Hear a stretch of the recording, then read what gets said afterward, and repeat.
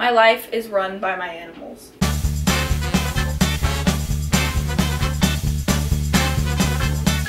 Hello everyone, my name is Tati and welcome to my channel. Today I'm going to be doing a story time about how my cat almost died. It was a tragic time for me. This is the young boy, the long boy that almost died. His name is Kuzco. He's a very stinky boy. Uh, he doesn't actually stink. My boyfriend and I just say that our cats are stinky, like they have stinky attitudes. But, so we got Kuzco here in September. We got our other cat Berlioz like two years ago, and he is a great cat, but we felt like he needed a friend. He is weird. He's unlike most cats. He loves to play, and he gets really destructive when he doesn't have another cat to play with. So we decided that we were financially stable enough and we were responsible enough to get him a friend. So we had started looking for another cat. And when we went to go look this one day, we were looking at all these cats and we had decided that we didn't want to get a kitten because we knew that kittens were so easily adoptable um, and we wanted to get an older cat. Our other cat is black and we wanted to adopt another black cat because we know that they have a hard time finding homes. And we'd been looking and we told the lady at the adoption place what we were looking for and she was like well we have this one cat in the other building. Would you like us to show him to you? So we were like yeah sure whatever. So she brought us to the other building where they usually keep the animals that are in quarantine. She showed us this tiny little snotty black kitten. Well he's not a kitten. He was about six months old um, and his name was Ike and he was just this adorable cuddly little guy and she took him out of the cage and he just like clung to me and cuddled and purred and I was like, oh my gosh, he's so cute. And she was like, he's not really sick. It's just every time we move him from an enclosure or we clean out clean out his cage or another cat comes in, he seems to get the sniffles. And we were like, oh, that's a little strange. It sounds like feline herpes. Now, feline herpes is like a chronic upper respiratory infection in cats. My boyfriend's sister's cat has feline herpes. That's the only reason I really know anything about it. The um, adoption tech said that she didn't think that it was feline herpes, so we were just like, well, we'll take him to the vet um, and see what they say. Because um, he seemed, other than the fact that he had a little bit of discharge from his nose, he seemed fairly okay. He was very alert. Um, his gums were pink. He was a good weight. I mean, he seemed he seemed like he was acting very normal. His eyes were bright. I have a lot of experience with animals, so he seemed like a very healthy cat to me. Because we were so attached to him immediately, we decided that we were going to adopt him. We took little Kuzco home. We couldn't really decide on a name for him for a while. Kuzco was one of the first names that we picked out we have a Disney theme going on. We have a dog named Sully, and our other cat's name is Berlioz. Um, so we knew that it was going to be a Disney name, but we weren't quite sure what Disney name we wanted. But Kuzco is kind of the perfect name for him because he is the biggest spoiled brat that I have ever met. So we took him home and he was really just the funniest little cat that I'd ever met. He took to Berlioz right away and they just were best friends immediately. As soon as we brought him home, we got him into the vet as soon as possible and they said that he seemed to be a very healthy cat other than the fact that he had a snotty nose like I said. Um, they figured that it was just like a hi Berlioz. This is Berlioz the other cat. They said that it seemed like he just had like an upper respiratory infection or you know just like a kennel cough for cats kind of thing and to just keep an eye on him. So that's what we did and he didn't seem to get any worse. He just continuously had a snotty nose. So we were like okay. We didn't really think anything of it.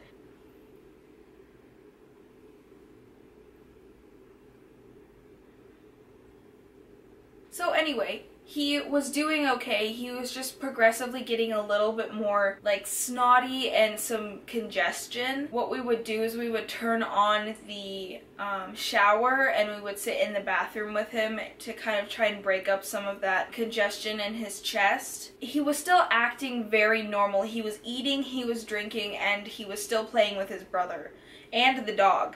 So we didn't really think anything of it. And then one day I was out at the farm with my friend and my boyfriend calls me and he says, you need to get home right now because we need to take Kuzco to the vet. He is extremely sick. And I thought that he was being dramatic because my boyfriend can be a little dramatic at times. So I was like, okay, like just take him into the bathroom, you know, turn on the, the shower and I'll get home as soon as possible. Little side story, at the time I was working as a key holder at a store, so I was kind of like under management, so I wasn't quite a sales associate. I was a little above that, so I could like open and close the store and that kind of stuff. Um, so I texted my boss and I said, hey, my cat is really sick. I have to take him to the vet. I cannot come to work right now. And he gave me, he gave me serious like attitude about it. He was really upset with me and he was like, this is not okay. Like, you need to figure out how to find somebody to to like figure it out. And I was like, look, if everything is okay, I will come to work, but if he's really sick, I can't come to work. This is my child. like, I am not to come to work if he's like really,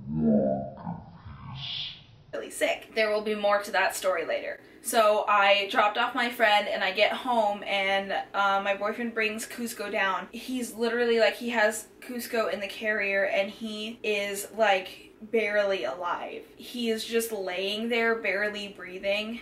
And Fox is like pushing on his chest, basically giving him CPR to keep him alive. Like to help him breathe because he was like so sick. And I was like, oh my god like I seriously thought that Fox was being dramatic when he said I think Kuzco is like literally dying. We need to take him to the vet. We rushed him to the vet and they took him back and um, did an, chest x-ray and they found that he had bronchitis and pneumonia and he had fluid in his lungs. And it was so fast that there was nothing that we could have done to like prevent it or to have taken him to the vet sooner. Because like I said he was doing fine. He was playing. His gums were pink. Like he'd been eating and drinking and he was perfectly normal up until that moment when he just kind of like stopped acting normal. It was so rapid. And what they had to do is put him in this little chamber and um, have him in this like filter chamber with really clean air and basically put him on oxygen and give him antibiotics and medications to keep him alive basically. You know, it's really scary because they're like our children. We love them so much. Hi. And um I just can't imagine what like what would have happened if like he died. Like I can't even imagine. Hi my life without this little stinky boy. When I found out that Kuzco had to stay overnight, I texted my boss and I told him, hey, I can't come in. I need to um, make sure that, you know, everything's going to be okay with my cat.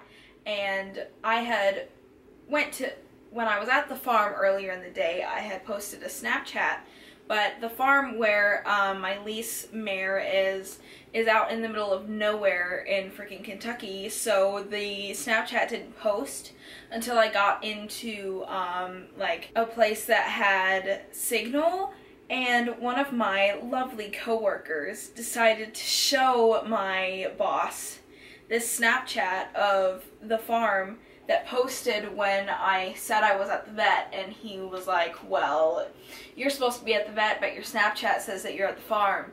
So I post, so I sent him a text of me at the vet, like, um, I'm at the vet right now crying my eyes out, so screw you, dude. I hated my boss. He was the worst. I'm going to do a story time about working at the last place that I worked, but I want to have my old assistant manager talk with me because she's my best friend and I want her to do the story time with me. Um, but yeah, and after that um, time when, when we had to rush Kuzco to the vet, we rushed him to the vet again for an emergency visit in the middle of the night. Um, he was actually fine that time, but we were just so worried from like the time before that we didn't want to wait too long if he was going to get sick again. But that second time he was okay. He was just getting really congested again. So the vet gave him another antibiotic shot and then he was okay. But he's okay now.